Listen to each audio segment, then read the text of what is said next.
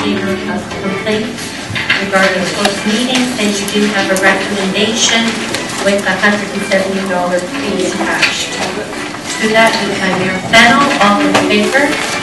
That's carried. Next item is council chamber technology replacement. Wow. It's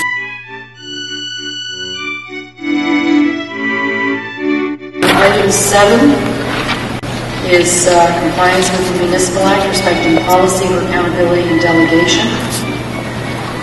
Someone wish to move that? Any questions on it? It's been moved. All in favor?